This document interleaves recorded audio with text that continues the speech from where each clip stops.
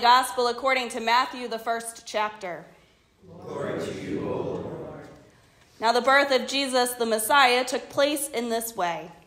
When his mother Mary had been engaged to Joseph, but before they lived together, she was found to be pregnant from the Holy Spirit. Her husband, Joseph, being a righteous man and unwilling to expose her to public disgrace, planned to divorce her quietly. But just when he had resolved to do this, an angel of the Lord appeared to him in a dream and said, Joseph, son of David, do not be afraid to take Mary as your wife, for the child conceived in her is from the Holy Spirit. She will bear a son, and you are to name him Jesus, for he will save his people from their sins. All this took place to fulfill what had been spoken by the Lord through the prophet. Look, the virgin shall become pregnant and give birth to a son, and they shall name him Emmanuel, which means God is with us. When Joseph awoke from sleep, he did as the angel of the Lord commanded him. He took her as his wife, but had no marital relations with her until she had given birth to a son, and he named him Jesus. The Gospel of the Lord. Praise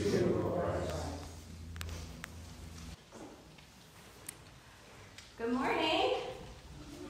Good to see you guys. We've got a lot of friends here today. Look at this. And it's snowing, right? Yeah. Actually, I see a lot of snow out there now if you want to take a quick little peek. It's coming down heavy. Wow. That's really exciting first note. Uh, so that leads me to what we're going to talk about today.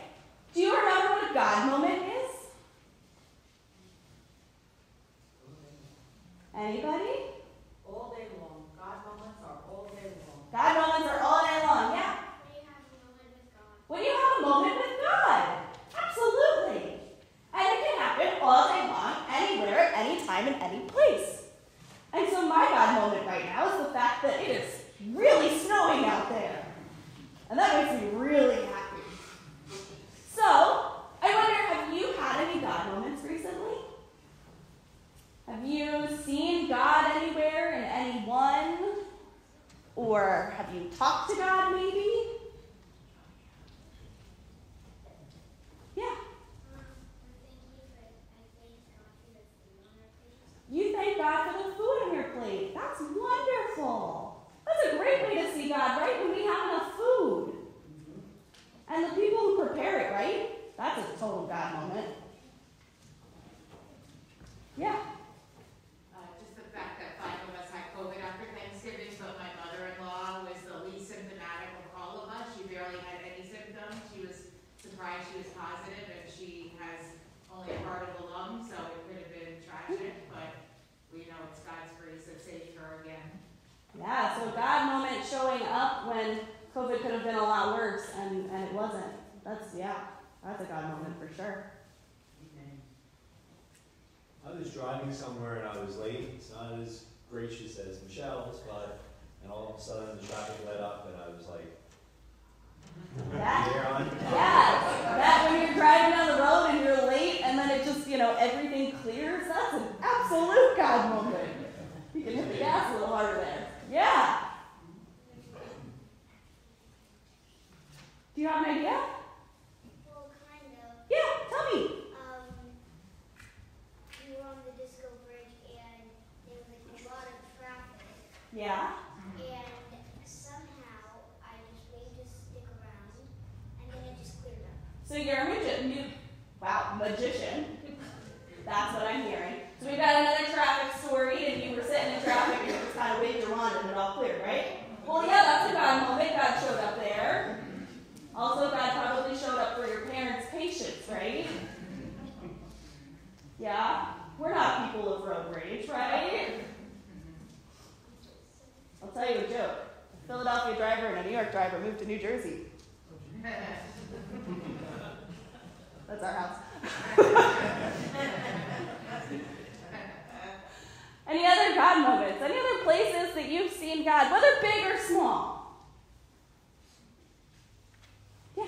When God, uh, when God helped Ron fix the uh, pump in the basement and he didn't have to get a plumber. That was really. Yes. God showed up to help Ron sing and didn't have to hire somebody. Absolutely. Joan? I went caroling with a few friends last night to some people who have not in good health, and it was just so moving because they appreciated it so much. It was so good to see them. Yeah. We, we had, they were, we were singing jingle bells and the one woman was crying. But yeah, it was just really, it felt good. So having the opportunity to carol with people who needed that joy, that's a God moment for sure. Ron, did you have one? decorating uh, Christmas cookies with my great grandchildren yesterday. Decorating Christmas cookies with your great grandchildren? Yeah, that's a God moment for sure. What else do we have? Um, when I got to um, when I got to play with my friend last night and bake cookies, and um, when you get to help people, you get to see the smile. Yeah, baking cookies always puts a smile on, and getting to see other people smile. That's definitely a God moment. That's you showing God to other people too. What do we think? Any other God moments? That's okay. That's okay. We'll learn it. But see, they can be big moments. They can be something huge like the traffic, or they can be small like singing Christmas carols or baking and smiling with your friends. So remember during this Advent and Christmas season to keep your eyes open and find out where you see God. And if you see God somewhere, let me know. Because I see in each and every one of you. And that's really special too. Sound good? All right. I love your God moments. So when you come up with them, always let me know, please.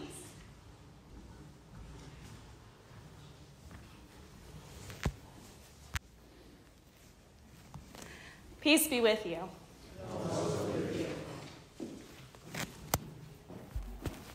There we go. So, this Christmas story that we tell over and over and over again, we read it in the Bible, we read it in children's books, we read it in adult stories. How many of you are familiar with this version that we read today? How many of you think, when you think of the Christmas story, yes, the angel appears to Joseph? All right, I'm, I'm glad. I see a lot of head nods. These pieces from Matthew's Christmas story are often overlooked, though. If you look at the kids' stories, they don't always show Joseph, they don't always show the angel appearing to Joseph, and they definitely don't go through the genealogy like we heard a few weeks ago. Although I bet that would be a really good kids' story to put them to sleep. so, this Advent season, we've been looking at the Christmas story, all the different pieces from just different Gospels. If you were here on Advent 1, we talked about the genealogy of Jesus. So and so, son of so and so, son of so and so, and it you know, went on for a very long time. Then last week, we heard about the angel appearing to Mary, the Annunciation. And continuing chronologically, now we get to the angel appearing to Joseph. We so often, when we tell the Christmas story, focus on Mary and Elizabeth, the narratives that are in the Gospel of Luke and the Gospel of John. But this is the beauty of Scripture is that no one gospel tells the full story. We have to read each of them and find the different pieces to put the puzzle together. So, this is it for Matthew's narrative of how Jesus was born. We've got the genealogy as the first half, and we have our gospel for today as the second half. That's it. Genealogy, angel appears to Joseph, baby is born. Quick and easy. Short and sweet. But Matthew's story is missing my favorite parts, maybe some of your favorites too. The angels, the shepherds, the Magnificat, which we'll get to next week. None of that happens in Matthew. Again, the beauty of bringing all of the different scriptures together to paint the full picture. But this piece of the Christmas story is an interesting tale. And when we don't put all the pieces together, we often miss out on this story. what I love about Joseph's story is that he had a choice to make too. Last week, we talked about the fact that Mary had a choice when the angel appeared to her, and she said, Yes, I will do this. Now it's Joseph's turn. The angel appears to Joseph, and he has a choice to make, and he too says, Yes, I will do this. Now, we know a lot and a little about Joseph. We know from our scripture today that he was a righteous man. And we know from his genealogy that he had a long lineage of faithful, prominent biblical folk. He is a son of Abraham and Tamar and Bathsheba and Ruth and David. So many stories that you may be familiar with. But what matters the most about this story today is the fact that Joseph said yes. Joseph said yes to caring for Mary and for raising Jesus as his son. He said yes to challenging the status quo and the expectations. He said yes to choosing a better way to live a life of faith. We can argue about his actions. Were they honorable? Were they dishonorable? Was he right? Was he wrong to want to dismiss Mary? I read a lot of books, and every single one this week had something different to say. But what matters is that Joseph said yes. From generation to generation, we tell this story of yes from Mary, yes from Joseph, the arrival of the baby Jesus. But how often do we stop and look at these individual pieces of the story? The genealogy portion of the Christmas story reminds us that there's room for every story. That God calls unconventional, ordinary people to do the extraordinary. Sometimes to have big God moments like moving traffic, and sometimes little God moments like putting a smile on someone's face. There is a place for all of that in God's story. Then, looking closer at the Annunciation, we are reminded that God meets us in our fear, that we are not alone, and that God sits with us in the tension of the both and parts of our story the joy and the sorrow, the happiness and the grief, the times where we're like, Yeah, God, you showed up, and the times where we're like, Seriously, God, you want me to do what? And today, this story of Joseph it reminds us that we can choose a better way. That society and the world around us might say one thing, but God can help us to say another and to live a life in faith. This story of Joseph, he is experiencing an interruption in his life. It's a bit of an inconvenience. He's in a debacle. What do I do? And it brings us to this moment of pause. What does he do when things deviate from the storyline that he thought his life would be? But I wonder how these interruptions might be moments of holy invitation. The interruption of Joseph's dream by the angel was an invitation to say yes to God. Joseph was invited to defy expectations, to choose a better way, to provide for his family, to gain a son, to literally help bring God into the world. I wonder what are the interruptions in our own lives? And how might they be holy invitations? I can tell you one very long, very big interruption in my life was when I moved to South Africa. Literally everything was interrupted. But it was a holy invitation. I had this image that I was going to go to South Africa, I was going to do great things, I was going to change people's lives, who knows? It's going to make a difference. That's not what happened. In fact, my expectation was interrupted, and my literal daily life and functioning was interrupted. I didn't have a smartphone. I had a Nokia brick I could throw across the street, and it still worked. I had limited internet access, no unlimited text messaging. I had to walk down the street and buy those little cards and rip off the minutes and type in the code to get 100 text messages. Do you even know what that's like, Kayla? oh, yeah. It's awful. It's awful. if you get one number wrong, you got to type a whole thing in again. Let me tell you, 100 text messages did not go far. I also didn't have a car. Couldn't just hop in the car and go down to the grocery store and buy my favorite piece of chocolate. Nope, I, all of that was interrupted. But it was a holy invitation to sit, to be, to learn, and to grow. I walked to church every Sunday. Let me tell you, I got to know the drunk guys at the bar right next to the church, and they would always greet me, and I would greet them and keep going on my way.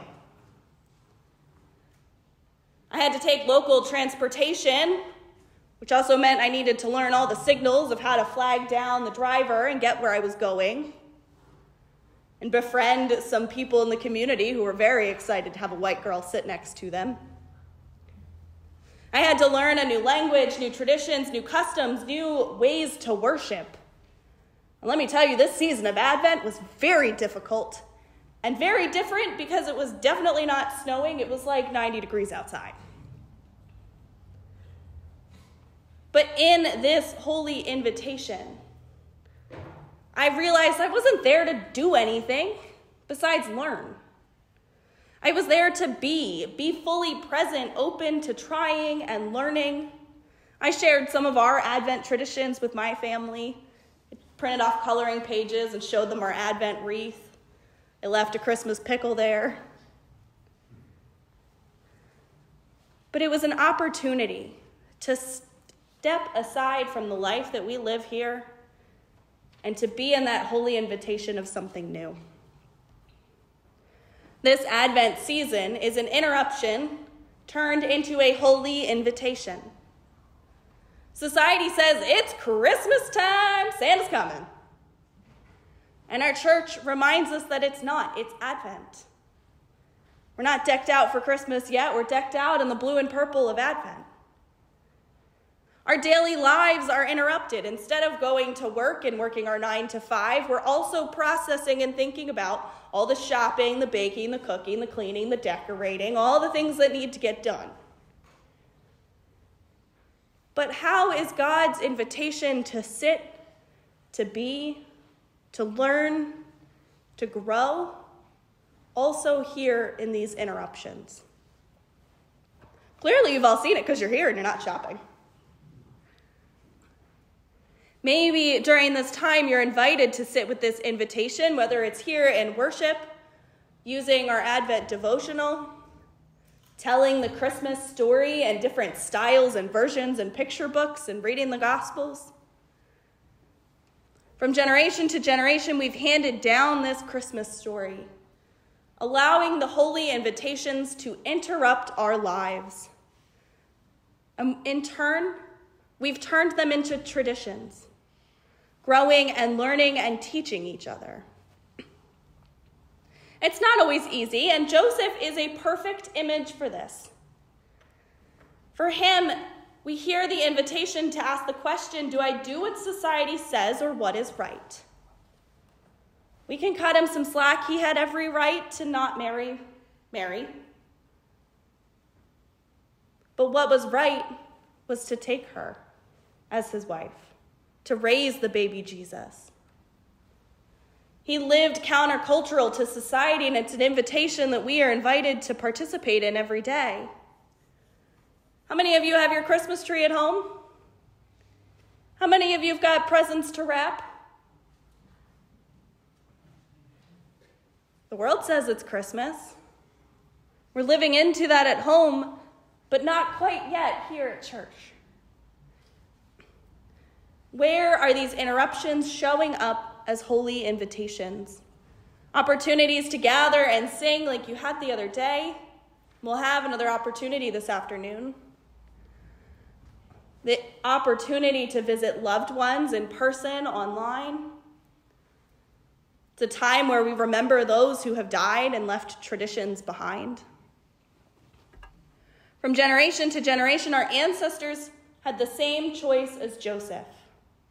Do I do what is easy or what is right and just? And sometimes they chose the better way, and sometimes they did not. But we are invited to name these choices, to pass them along, or to learn and to grow from them.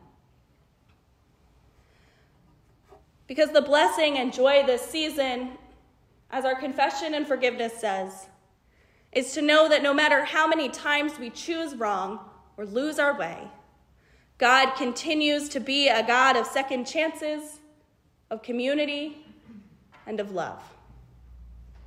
From generation to generation, God says there is room for your story, no matter how broken or imperfect. And we become part of God's story by weaving our own stories as seeds of hope for those with us now and for those yet to come. From generation to generation, God meets us in our fear. This phrase, be not afraid, shows up 365 times in Scripture. That is a story for every day of God showing up and sitting in the tension of that both and, that we can be celebrating and also sad, that we can sit with happiness and grief, joy and sorrow, and that God knows all of it. From generation to generation, we can choose a better way. We can choose to do what is right and just instead of what is easy, knowing that God will be with us each step of the way, that we will mess up and get it wrong, but God will continue to love us and meet us at the table with grace and mercy and love. But that God will also meet us in moments every day of baking cookies and watching the snowfall. From generation to generation, followers of Jesus figured this out and told the story, and now it is our turn.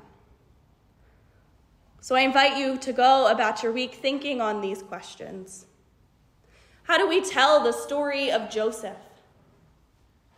Where are we called to see interruptions as holy invitations? Where do you see God at work around you? Amen.